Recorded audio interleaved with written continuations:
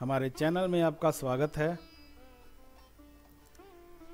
Film fair award 2023 में किसे सर्वश्रेष्ठ अभिनेत्री के अवार्ड से सम्मानित किया गया?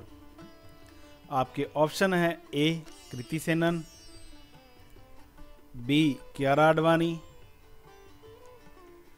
C, Shiva Chadha या डी, आलिया भट्ट।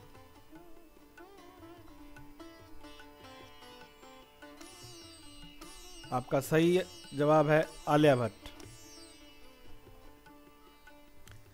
अड़सठवें फ़िल्म फेयर अवार्ड समारोह में फ़िल्म इंडस्ट्री के चर्चित हस्तियों ने भाग लिया।